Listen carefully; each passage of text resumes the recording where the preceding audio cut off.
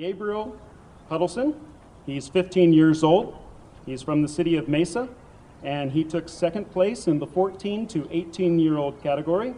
And his poem title is Scotland the Free. Please come up, Gabriel.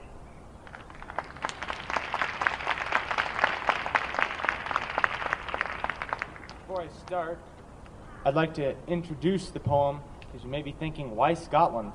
Well, the topic was freedom. And I had, for a long time, wanted to write a poem that would address the Christian heritage of the Celtic nations like Scotland and Ireland. There are many manly poems, but none of them really brought to bear the legacy of Christ, the Kirk, the Church of Scotland.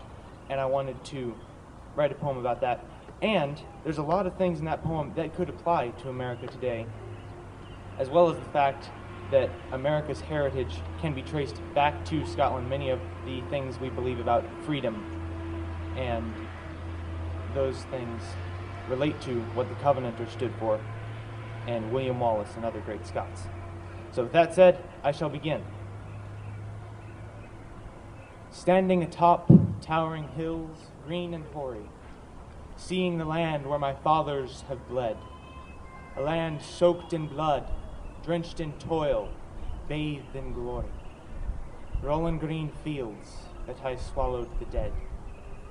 Standing here alive and true, surrounded by the ocean blue, bright sword in whitened fist and fire in their eye, a legacy of freedom, be it hard, be it gory, held fast by men who would fain do or die. Though perhaps today she has spurned patrimony, scorning the blood that lies deep in her soil. Covenanters' blood shouting loud in sweet harmony, telling of Christ and a kirk held by toil.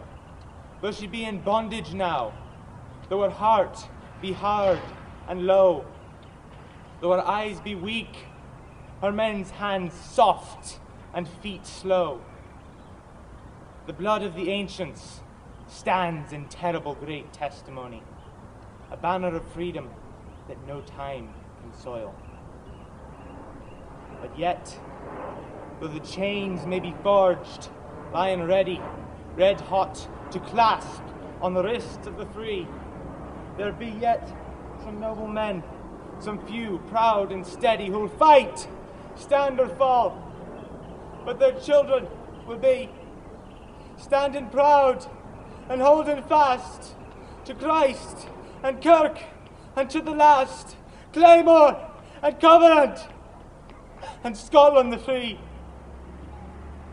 Beautiful and terrible and strong, bold and bloody. Scotland the brave, the true, Scotland the free.